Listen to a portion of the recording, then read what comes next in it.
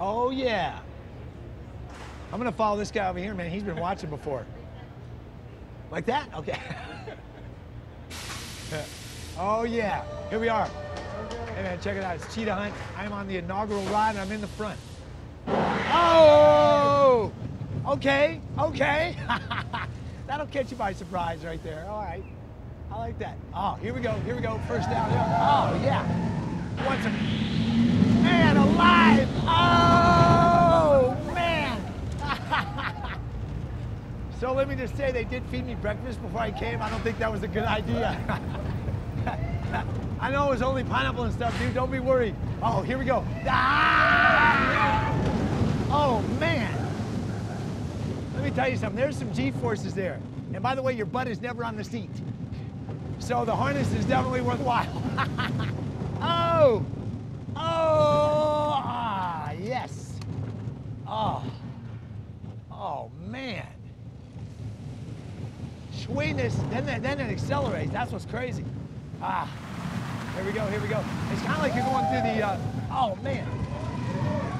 It's kind of like you're going through Africa at the same time you're going like it.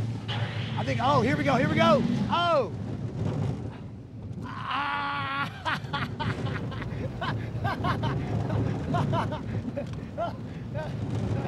I don't think I'm to be able to have any more kids, but that was good.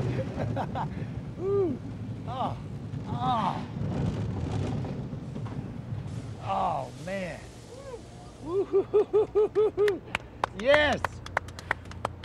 Oh.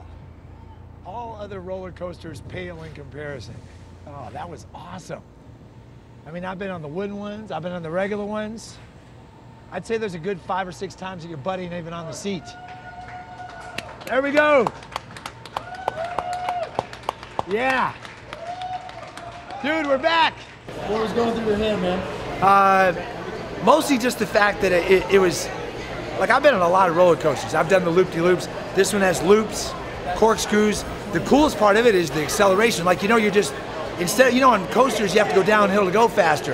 This coaster, when you're going flat, then all of a sudden out of nowhere, it just says boom, and you start flying.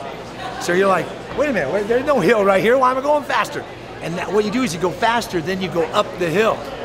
So that's where it comes. You, you blaze into these hills, and as you're going up, your body just kind of goes orbital. And then when you, as soon as you crest the top of the hill, you don't know how steep that thing is, dude.